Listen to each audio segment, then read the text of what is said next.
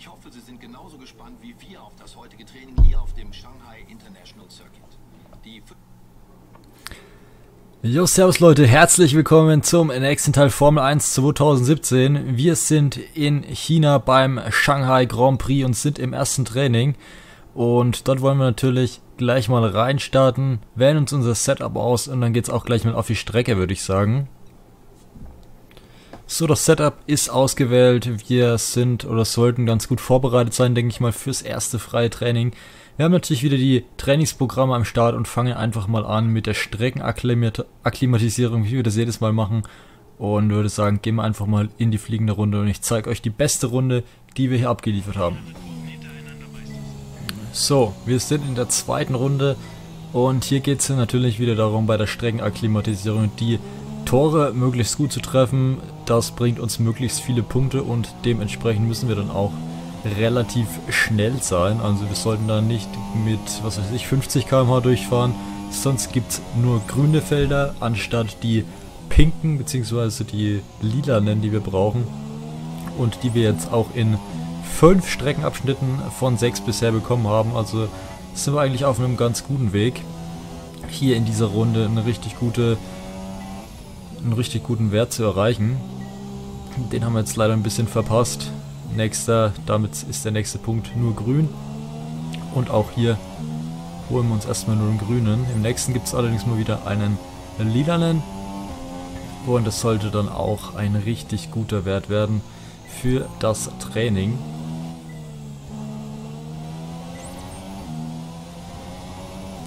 So, jetzt geht's auf die lange Gerade. Hier leider nur grün bekommen gleich die DRS-Zone perfekt treffen. Jawohl, haben wir geschafft.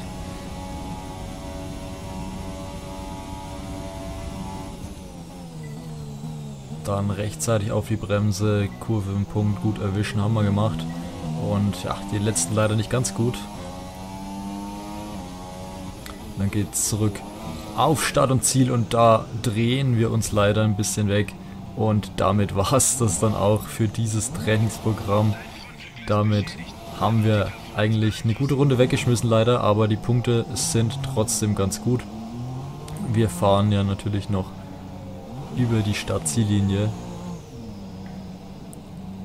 Müssen uns erstmal ein bisschen erholen nach unserem Dreher.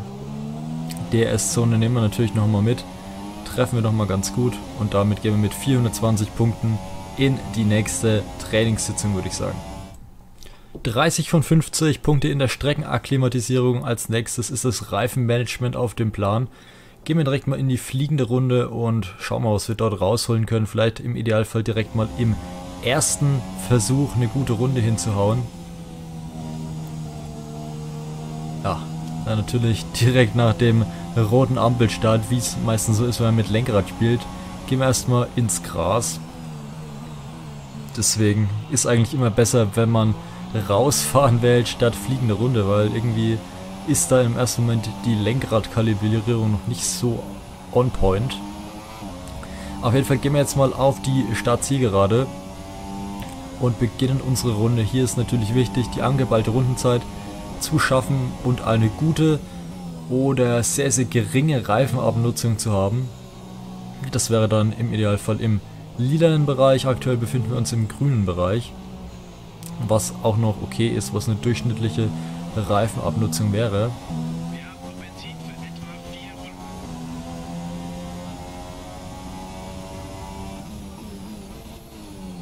Ja, da haben wir uns ein bisschen verbremst, das kostet natürlich auch ein bisschen Reifen. Aber die Rundenzeit ist komplett im Rahmen, wir sind schon äh, 6 Zehntel schneller.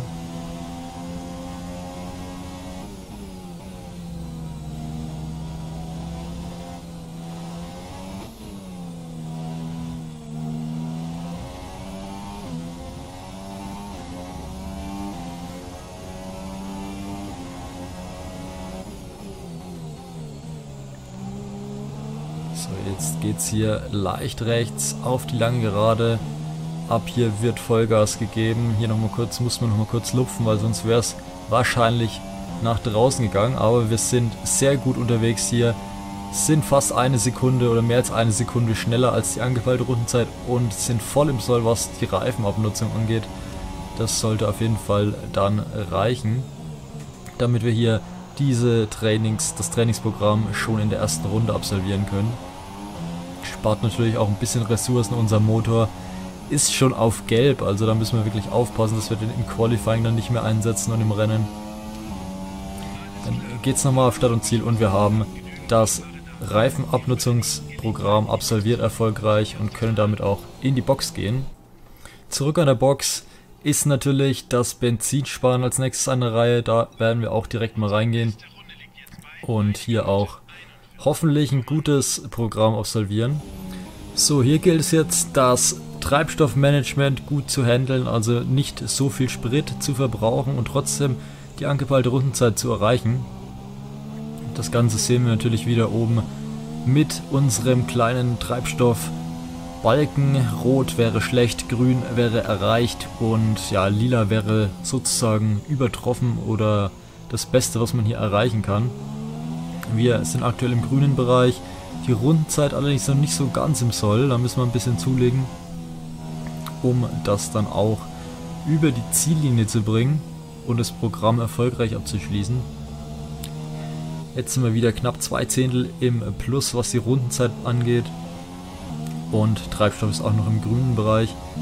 Vielleicht kommen wir da noch in den lilanen, aber bleibt abzuwarten. Wir haben natürlich noch die lange Gerade, da können wir dann vielleicht ein bisschen Sprit sparen.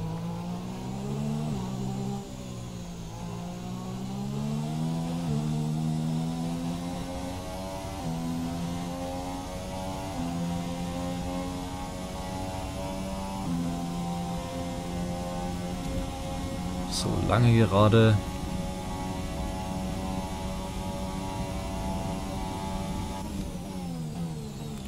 Auf die Bremse. Bisschen rollen lassen. Spart natürlich auch Treibstoff. Und unsere Rundenzeit wird ziemlich eng werden, aber ich denke mal, wir können es schaffen. Es wird auf jeden Fall sehr, sehr eng und ja, wir schaffen es, ein gutes Benzinmanagement und ich denke, damit können wir dann auch zufrieden zurück an die Box. Zurück an der Box zum zweiten Training schon. Die erste Session konnten wir mit dem 16. Platz beenden. In der zweiten Session wollen wir jetzt uns dem Qualifying Tempo widmen.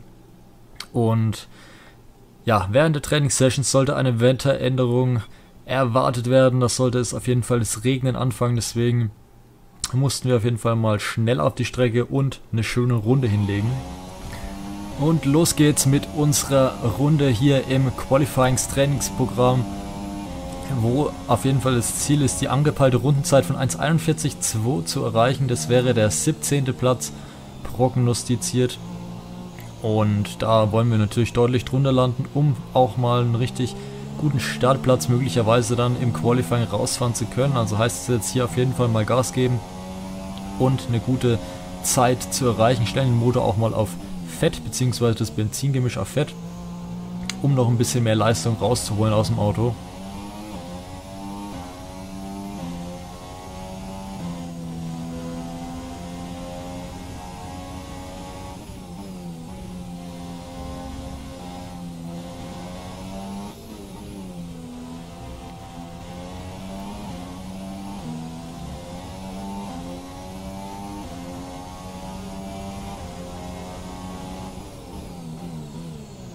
Auf jeden Fall eine ganz enge Geschichte hier. Als wir auf die lange Gerade einbiegen, haben wir knapp einen Zehntel Vorsprung auf die angepeilte Rundenzeit. Also da müssen wir auf jeden Fall jetzt nochmal was rausholen auf der langen Geraden. Hoffentlich, ja, und da geht die Zeit auch schon nach unten. DRS rechtzeitig aufgemacht. Dann sind wir dann auch schon drei Zehntel unter dem Delta. Also sieht es ganz gut aus, denke ich mal, jetzt den Bremspunkt rechtzeitig erwischen. Sieht ganz gut aus. Die Linie ganz gut getroffen. Herausbeschleunigen nochmal in die letzte Kurve hinein. Richtig auf die Bremse. Gut erwischt eigentlich. DRS nochmal an und dann gehen wir über die Linie, haben unser Ziel erreicht und können dann das letzte Trainingsprogramm angehen. So, und damit sind wir im dritten Trainingsprogramm hier am Shanghai International Circuit. Das letzte Programm ist die Rennstrategie und ihr seht schon, wir haben hier Regenreifen bzw. Intermediates am Start. Das heißt, wir werden hier das erste Mal richtig mit Intermediates im Regen fahren. Und damit geht's auf unsere erste Runde hier im Rennstrategieprogramm im Regen. Hier müssen wir auf jeden Fall mal die angepeilte Rundenzeit von 1.55.5 erreichen. Das ist die Regenzeit. Und da sind wir im ersten Sektor natürlich schon mal deutlich schneller. Also das sollte, denke ich mal, kein Problem sein. Und müssen natürlich auch insgesamt fünf Runden hier zurücklegen in diesem Programm, um es schlussendlich dann erfolgreich abzuschließen.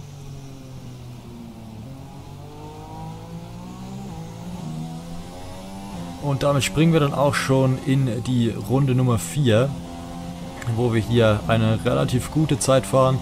Sieht ganz gut aus, dass wir hier auch die angepeilte Rundenzeit erreichen können. Gutes Tempo, damit haben wir dann auch das Rennstrategieprogramm abgeschlossen und können zurück an die Box gehen. Wobei uns hier nochmal ein neues Ziel vorgeschlagen wird, aber das lassen wir denke ich mal aus, weil wir natürlich auch ein bisschen unsere Ressourcen sparen wollen. Und ich denke mal 40 von 50 Punkten sind ganz in Ordnung und damit können wir zufrieden sein. Wir versuchen es natürlich nochmal hier eine gute Zeit rauszufahren, aber die Streckenbedingungen lassen natürlich auch nach, beziehungsweise die Reifen lassen nach und das Wetter wird auch etwas schwieriger. Hier merken wir das dann auch schon, da schmeißen wir die Runde eigentlich weg und damit können wir das letzte Programm dann auch beenden.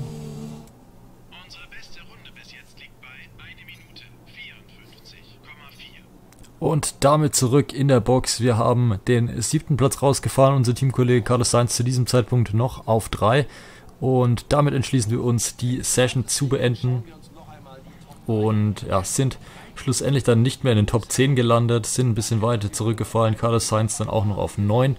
Also haben wir nicht jetzt nicht geschlagen, aber wir, oder es war ja nur das Training, im Qualifying wird es dann auf jeden Fall zählen. Und dann würde ich sagen, springen wir einfach mal weiter und sind mal gespannt, was fürs Qualifying von uns erwartet wird dieses Mal.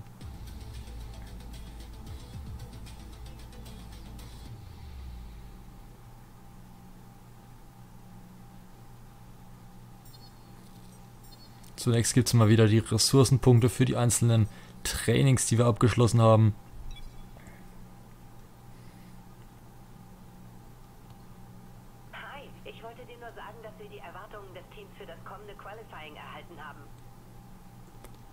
So, das Ziel für die nächste Session im Qualifying ist der 13. Platz oder höher und Carlos Sainz zu schlagen. Ich bin echt mal gespannt, wie wir diesmal abschneiden werden. Das Ganze werdet ihr auf jeden Fall im nächsten Video sehen zu Formel 1 2017. Würde mich freuen, wenn ihr dann wieder reinschaut und einen Daumen da lasst, wenn es euch gefallen hat und gerne auch ein Abo, wäre sehr, sehr geil von euch. Und dann würde ich sagen, sehen wir uns im nächsten Video. Macht's gut, bis dahin, euer Jules, haut rein.